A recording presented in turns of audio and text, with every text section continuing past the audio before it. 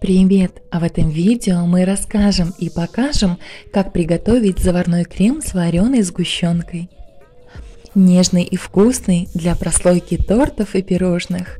Заварной крем с вареной сгущенкой прекрасно подойдет для промазывания коржей для медовика и Наполеона.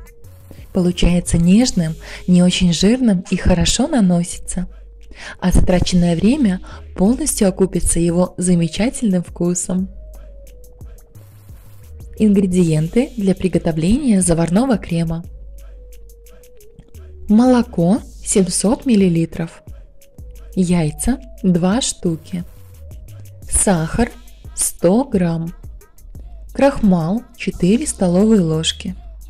Вареное сгущенное молоко 200 грамм. Сливочное масло 300 грамм. Основной этап приготовления – Подготовьте все необходимые ингредиенты по списку. Сгущенку можно купить в магазине при условии, что она качественная, но лучше всего ее сварить из обычного сгущенного молока, проварив несколько часов в воде при медленном кипении и остудив. Масло и сгущенку выньте из холодильника заранее, чтобы они были комнатной температуры. В кастрюлю разбейте яйца, добавьте сахар и крахмал. Перемешайте до однородности. Если хотите, чтобы крем был более плотный, замените крахмал на муку высшего сорта. Или возьмите крахмал и муку в равных пропорциях. В смесь влейте 200 мл холодного молока и перемешайте. Остальное молоко доведите до кипения в другой кастрюле с толстым дном и снимите с огня.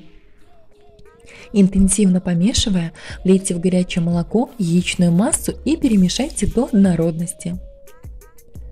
Поставьте кастрюлю на очень медленный огонь и, не прекращая перемешивать, варите крем до загустения и первых бульков.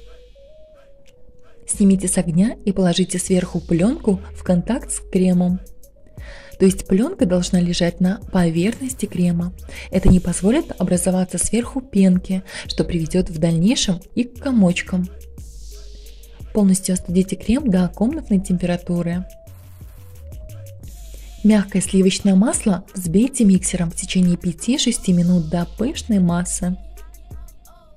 Взбивая на низкой скорости, добавляйте вареную сгущенку по 1 столовой ложке, каждый раз хорошо перемешивая.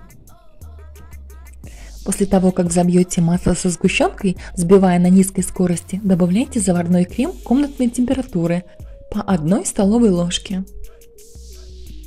После добавления каждый раз обязательно взбивайте до однородности.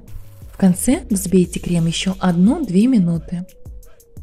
Если все же крем получился комочками, протрите его через сито и немного взбейте на низкой скорости. Использовать его лучше сразу, не храните в холодильнике.